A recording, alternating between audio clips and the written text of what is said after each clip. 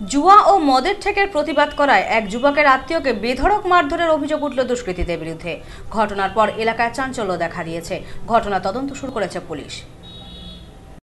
এলাকায় জুয়া ও মদের ঠেকের প্রতিবাদীকে না পেয়ে তার আত্মীয়কে মারধরের অভিযোগ উঠল দুষ্কৃতীদের বিরুদ্ধে। চাঞ্চল্যকর ঘটনাটি ঘটেছে নদিয়ার শান্তিপুর থানার আগুনেশ্বর এলাকায়। দুষ্কৃতীদের মারে মাথা ফেটে যায় প্রতিবাদী যুবকের আত্মীয়ের। এরপর দুষ্কৃতীরা পালিয়ে যায়।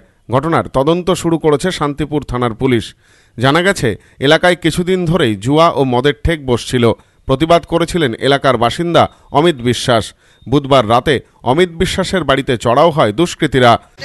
দরজা দরজা লাথি তারপরে গুলি, আর আমি তখন উঠে থত- থতমত খেয়ে গিয়েছি ইয়ে করছি। তখন ছেলেকে ডাকছি হ্যাঁ? তখন ওরা সব এক জায়গা হয়ে গিয়েছে। অভিযোগ, দুষ্কৃতীরা দরজাতে বাঁশ ও লাঠি দিয়ে বাড়ি মারার পাশাপাশি কয়েক রাউন্ড গুলিও ছোড়ে। বাড়িতে থাকা এক যুবককে বেধড়ক মারধর করে। স্থানীয়রা ছুটে এলে পালিয়ে যায় অভিযুক্তরা। তো এই দরজায় দেখি লাঠি সাঠি পড়ছে, তখন কি ব্যাপার? হঠাৎ এরকম হলো কেন? আগে কোনো গন্ডগোল অশান্তি কিছু নেই?